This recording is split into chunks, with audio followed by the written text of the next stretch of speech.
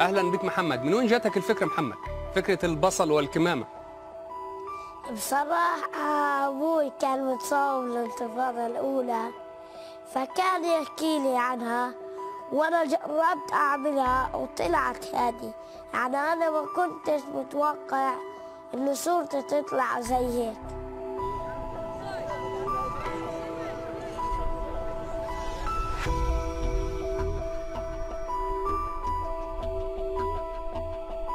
يعني أ- أ- أنت تعلم إن هذا المكان من الممكن إن جنود الاحتلال الإسرائيلي يطلقون الرصاص. أنت نفسك ما كنت خايف؟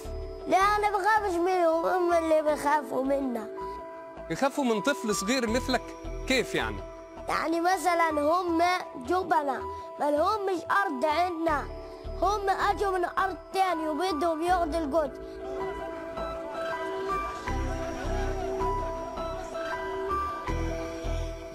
كان هدفك إيه محمد وأنت يعني في هذه المسيرة؟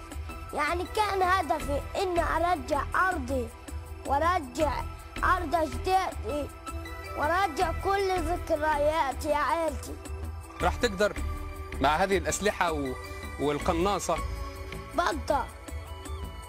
وبقدر لو استشهدت. يعني في حدا غيري.